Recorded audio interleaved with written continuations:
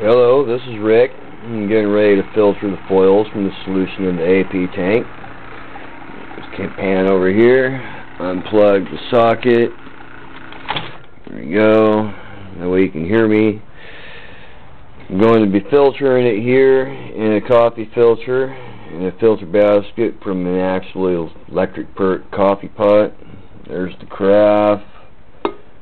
Filter basket goes in just like that. Oh, it's sweet. I love it. Shaped something like a Erlenmeyer flask. Numbers and all on it. I like it. Anyway,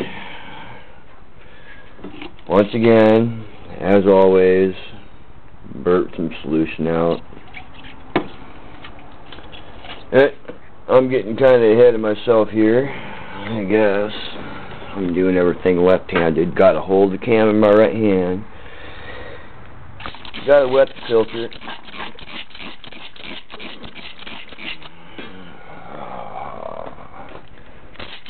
Figure out how I'm going to walk around it.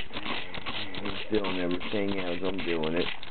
Pay attention to what I'm doing. You hold the cam at the right spot too so you can see what I'm working with. Okay, well, I guess I can set this over here for the time being so it's out of my way. That's all wet down for right now. Pop the lid on the tank. Get out of the way. The solution's a deep green. A little deeper than antifreeze green. Now I can carefully pour the solution through filter.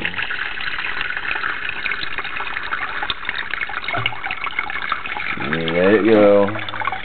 It'll run through pretty rapidly. Once this runs through, I think I'm going to move farther over here under the light so you can better see what's going on. You're not really missing anything right now. I don't see any foils in the solution or any of that. Just running it through, catching any of the fine sediment, I guess.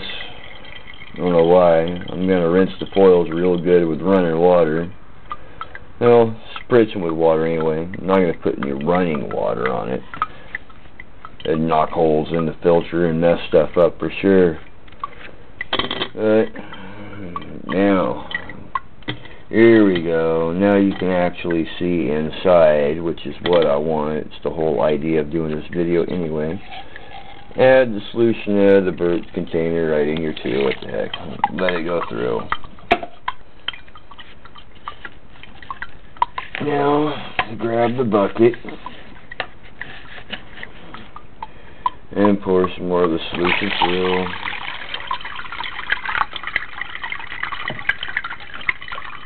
I always filter all of it just in case there's some fine foils, which it looks like there's there's some sediment in there anyway. You don't see it being yellow, so it's not foils, but anyway, yeah, it's the whole idea.